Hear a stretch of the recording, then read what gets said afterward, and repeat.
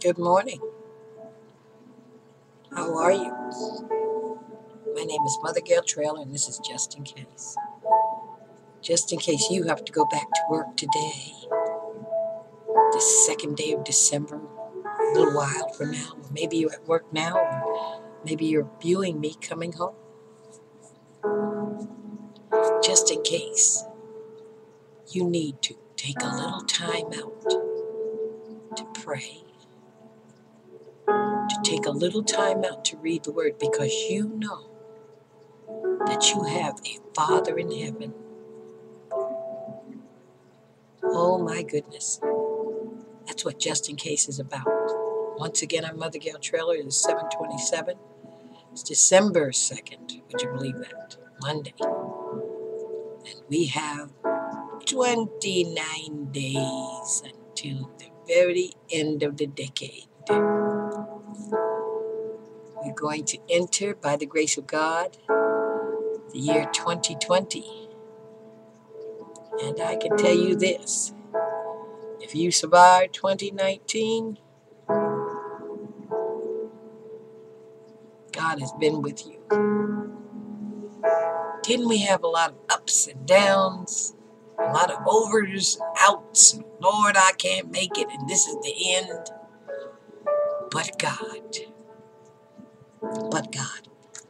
Before I read the word to you and give you something uh, to chew on for your spiritual inner man, let's pray. Dear Father, in the name of Jesus, we thank you for this wonderful new day. You are so faithful, and we are we are grateful. We ask you to please forgive us for all unrighteousness, create in us clean hearts, renew a right spirit. Deliver us, Father God, from self. Please, Lord, help us to walk in your spirit today so we do not fulfill the lust of this flesh. Oh God, give us strength over our weaknesses. Give us victory, Father God, over the enemy. Lord, help us to take the higher road, to look to you, because you have our, you are our strength, you are our help, and we need you, Lord. Protect our children as they go back to school, families as they go back home today. Lord, those who are traveling anywhere, please just cover us with your blood. We thank you, Father God, for all that you have done this week. Lord, it was a glorious week. Thank you, Lord. Thank you so much. Now, use us, Lord, today. Wherever we go, whomever we must deal with, Lord, use us to lift you up in this present darkness. Bind fear. Loose your peace and your joy and your mercy. Give us a hunger and a thirst continuously after your righteousness. These things we ask. And for your name's sake, Lord. In Jesus' name, amen. I had a wonderful, wonderful Thanksgiving. I should say it was Thanksgiving weekend or Thanksgiving week. It was great. It was great. Had my family come in from coast of North Carolina, the middle section of Texas,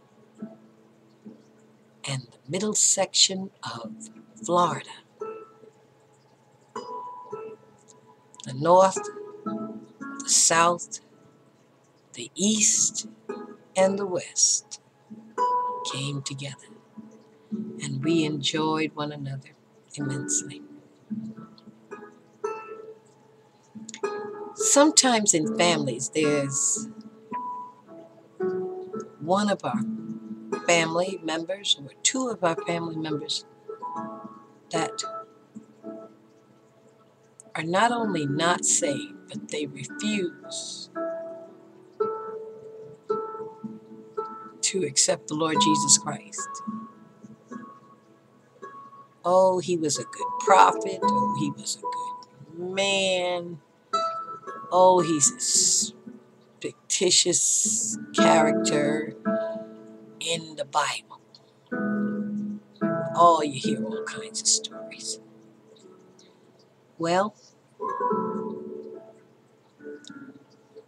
nonetheless, you know that our hope and our stay is in the Lord Jesus Christ. In this world where everything is whirling around, and tossing to and fro, we need our anchor to hold.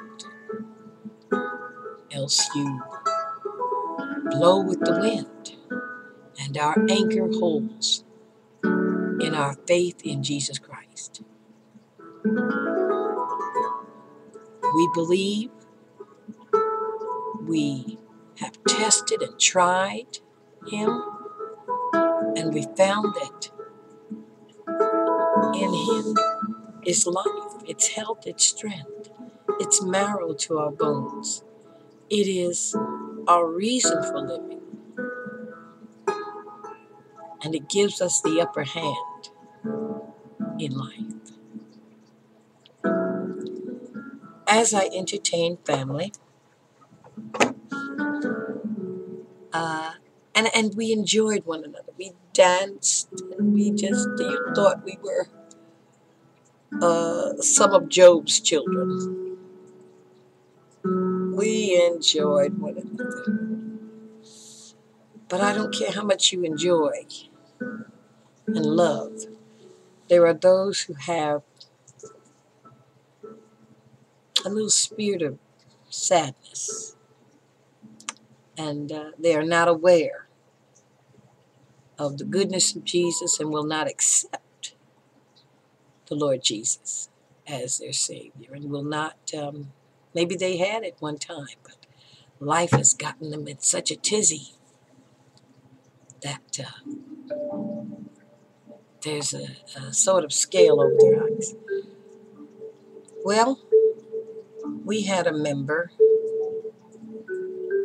that uh, category, and um, I love that member so much. And that member loves me. However,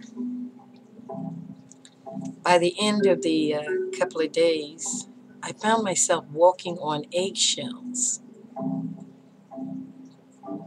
And uh, most, most uncomfortable. When the person was in the midst, most uncomfortable. Found myself um, apologizing for neighbors and friends, apologizing for the least little thing, trying my best to uh, enjoy. However, Mother Gail lost her loving mind. Yes, I did.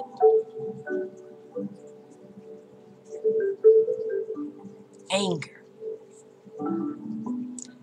Anger was so hot that it was white anger. It was it was an anger that uh, it was a a seething white anger.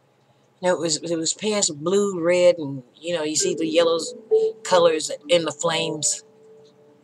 My anger was white. It was. It could, uh, and it was, and it wasn't God's. You know, it wasn't a spirit of God. That person had transferred their spirit onto me. And I had, before I knew it, spoke with my mouth. And um,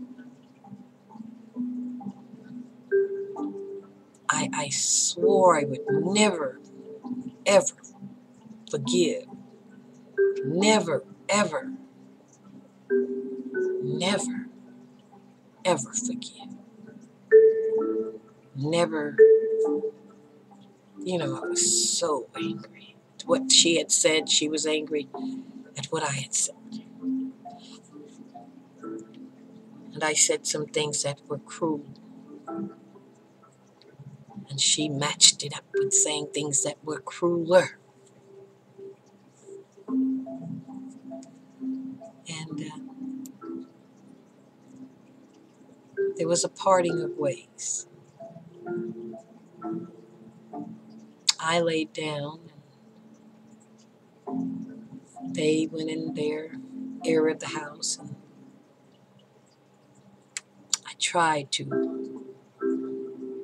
sleep, rest after it, after the confrontation, but I couldn't.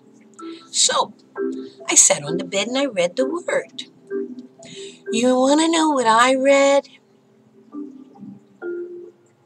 Let me tell you what I read. And no, Pastor Adams, I have not lost my mind.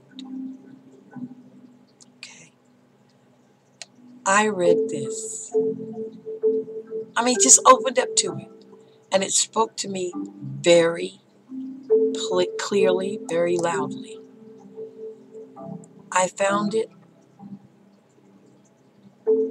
It's where I was. This this word came to me on sitting on that bed after that confrontation.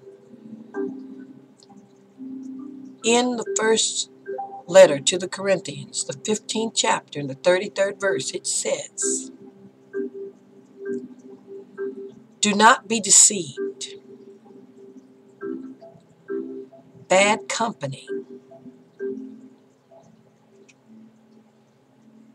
Or do not in the King James version it says let's just do let's see let's do the New American Standard. Do not be deceived. Bad company corrupts good morals. And it goes on to say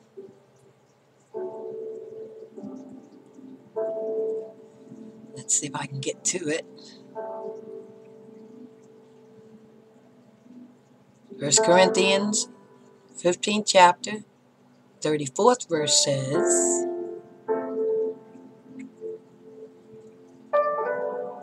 and this is what it's talking to me about. I mean, this is what God says. Do not be deceived. Good, bad company corrupt good morals. And then it says, come back to your senses, your right senses, and stop your sinful ways. I declare to your shame that some of you do not know God.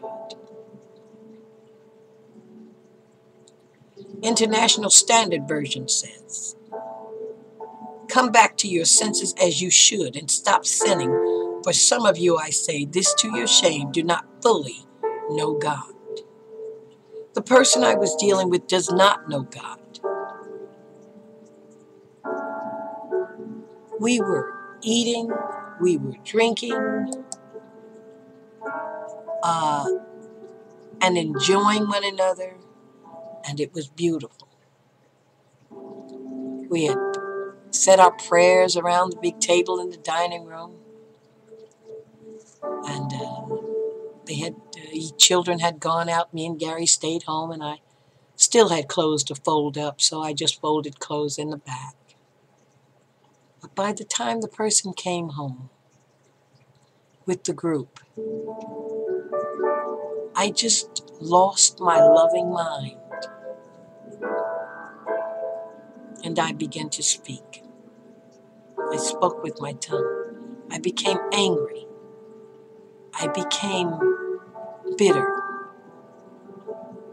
I became impatient. And I became